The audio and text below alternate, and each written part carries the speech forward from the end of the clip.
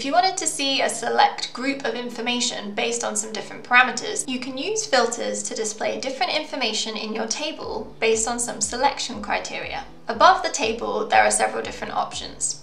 When you click filters, a pop-up appears. Let's add a simple filter first. Click add filter, and then you can use the drop downs to set up the logic for your filter. Select the property you want to filter. We'll stick with genre here.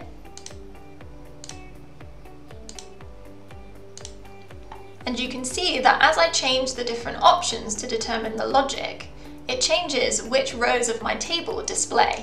And so you can use a different combination of these different options to determine what does or doesn't display in your table. You can remove a filter by clicking this bin icon. Without any filters in place, you will see all of the rows and pages in your table. So let's take a look at a group filter.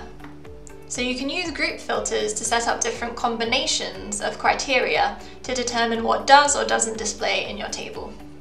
So you set up each filter similarly to before by using the drop downs to choose the properties and then choosing from the available options to set up the logic for your filter. And then by using the and or options, you can have even more granular control over what does or doesn't display in your table. You can remove each filter using the bin icon and you can remove a whole group filter using this bin icon here. Next to filters, there's sort. And you can use sort to determine how your data organizes itself within the table.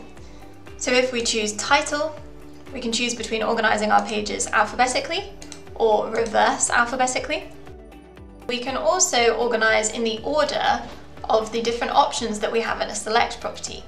So if I choose ascending by the drop-down order, it will organize all of my properties within the order that I have added the different options to my select property. So if I jump in here, you can see that to read is then followed by reading is then followed by complete. And if you wanted to change this order, you can drag and drop your different options and it will reorganize the info in your table.